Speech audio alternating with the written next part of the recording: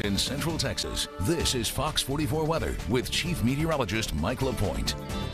Clear skies on this Friday night looking pretty quiet across the area. We're going to see temperatures kind of cool off just a little bit, but still not bad for February, that is for sure. Right now, we'll take you down into the Killeen area. It's pretty quiet right now. Our live Centex Seamless Gutter Sky Tracker. It is on the rooftop of one Killeen Center. Current temperature 60 degrees. Again, our average high is about 65, so we're still pretty warm this evening. Our wind is out of the north at 6 miles per hour. Other temperatures, we've dropped into the 50s over toward the Hillsboro area, 53 degrees. Clear skies in Gatesville, 57, 57 in Brownwood, and temperature still holding in the mid to upper 50s, pushing 60 degrees in Caldwell. We've got mainly clear skies in College Station and 60 degrees. The wind has been uh, pretty light. It was a little stronger uh, this afternoon, about 10 to 15 miles per hour, but now we're talking the wind uh, for the most part. Exception is up toward Mexia 13, but that northerly wind under 10 miles per hour. Wind should not be a problem to start the weekend, but by the end of the weekend,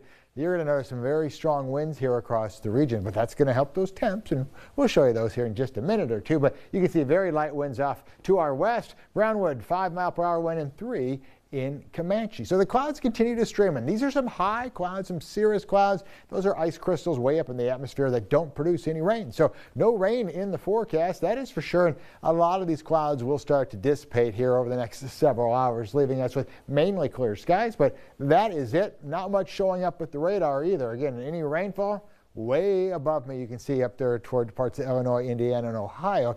That is mainly about it. So here's what you can expect overnight tonight. Clear skies, quiet weather, and there's that high pressure area moving down from the north. That will control our situation here overnight and early tomorrow. So tomorrow, you'll be waking up to clear skies. Temperatures in the mid to upper 40s. Winds will be rather light as we go throughout the day. Still talking about winds, not looking bad. This is at noon tomorrow. Temperatures climbing uh, into the 70s in most areas. We'll get on the backside of the high, and you can definitely see southerly winds kicking in. And by the afternoon, mid to upper 70s tomorrow mostly sunny skies. Pretty quiet weather across the region. And then late Saturday into Sunday, notice how that high kind of leaves us here? That was protecting us from those strong winds. Well, those stronger winds will start to kick in here as we start the day on Sunday. And so expect a windy day, but look at the temperatures though. The temperatures will climb into the upper 70s and lower 80s on Sunday mostly sunny skies. Once again, it's going to be a beautiful weekend here. It's not going to feel like February, that is for sure. This is at 5 o'clock in the evening on Sunday. Farther off to the west you go, temperatures will definitely be in the low to mid 80s, if not some upper 80s from time to time. But tonight's forecast, mostly clear skies. We'll still see those northerly winds at 5 to 10 and temperatures falling to around 45 degrees. And then tomorrow, a lot of sunshine. Should I wash the car? Yes. Should I wash the motorcycle? Get the motorcycle out. Get it.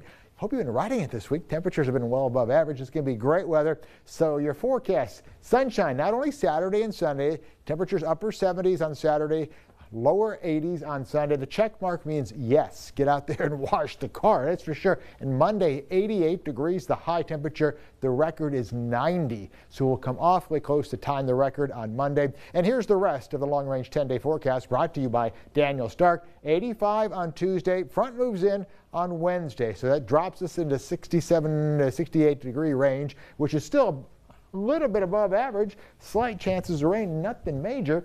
And you'll even notice next weekend temperatures in the 70s, lows mainly in the 40s and 50s, and then down toward Bryan and College Station.